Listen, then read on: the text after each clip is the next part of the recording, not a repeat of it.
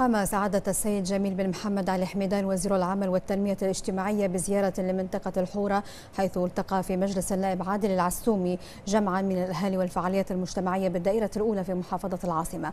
واستمع إلى مقترحاتهم وتطلعاتهم المتعلقة بتسهيل تلبية احتياجاتهم المعيشية وتطوير مستوى الخدمات المتنوعة التي تقدمها الوزارة للمواطنين.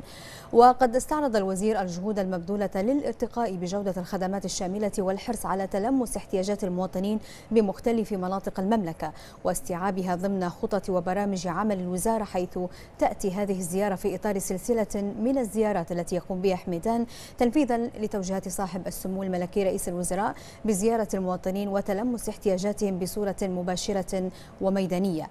إذ تعكس هذه التوجهات حرص سموه على تعزيز الأمن الاجتماعي والاستقرار المعيشي لجميع المواطنين.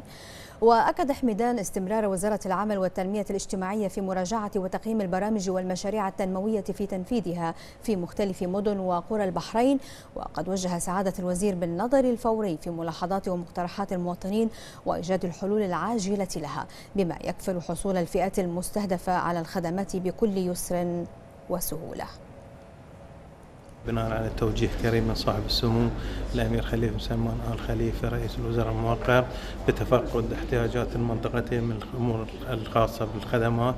آه، طبعا هذه زيارة تأتي ضمن اهتمام سموه الاهتمام بمناطق البحرين كلها بالأخص المناطق اللي تحتاج إلى خدمات لاستكمال البنية التحتية فيها. ولسد حاجة الأهالي، تأتي هذه الزيارة كذلك في سياق اهتمام سموه الذي رسخ العمل الميداني للوزراء بشكل عام بالذات وزراء الخدميين للنزول للمناطق وتفقد الاحتياجات التي يحتاجونها المناطق. وهذا بلا شك يأتي في مصلحة المواطنين ومصلحه تلك المناطق. وإن شاء الله هذه الزيارة بلا شك هي محل تقدير واهتمام آه، بالغين من أهالي المنطقتين الذي يكنون لسمو رئيس الوزراء كل كل الاحترام والتقدير وسمو رئيس الوزراء آه، أيادي البيضاء في منطقة الحورة والقضيبيه آه، الكل يعرفه وإن شاء الله الله يعطي الصحة والعافية وإن شاء الله دائما نشوف البحرين مثل ما إحنا نتمناها كشعب والله يحفظ القيادة إن شاء الله.